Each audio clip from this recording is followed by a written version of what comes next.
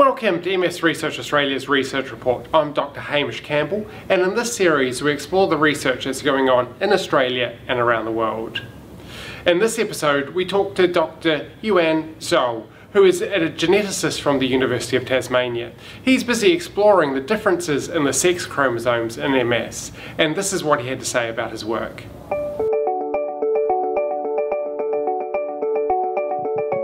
IMSGC refers to International Multiple Sclerosis Genetic Consortium. It brings MS researchers around the world together through collaboration and synergy to make more rapid progress to fully understanding the etiology, pathogenesis, clinicals, and response to treatment of MS. So our group in Hobart is a member of IMSGC and for the past few years we have identified over 200 susceptibility genetic loci that contribute to MS risk.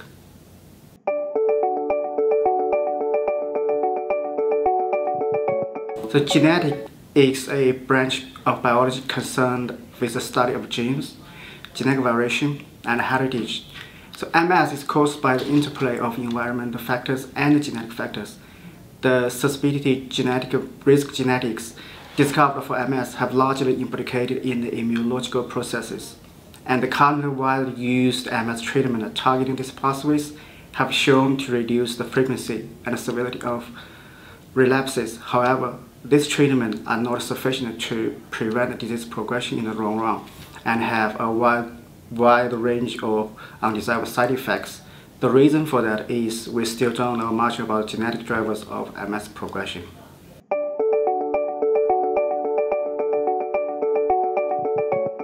So I will work with IMSGC to develop a novel pipeline specially designed for sex chromosome.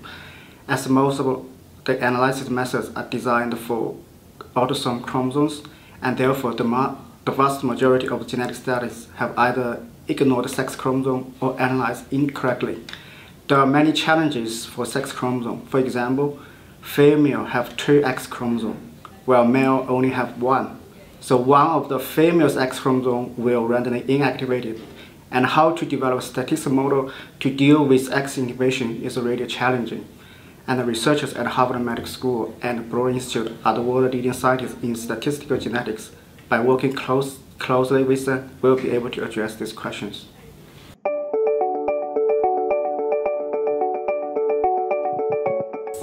So why the prevalence of MS is much higher in female than male with a ratio of 3. And why female are more predisposed to relapse onset type of MS, while males are disposed to progressive onset. And these are significant outstanding research questions.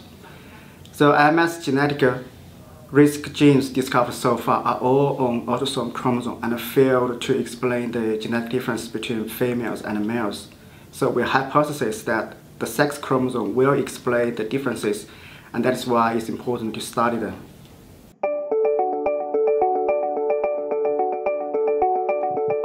So using the appropriate methods will enable a unique biological perspective of MS etiology and progression by sex and potentially leading to personalized novel points of intervention and treatment.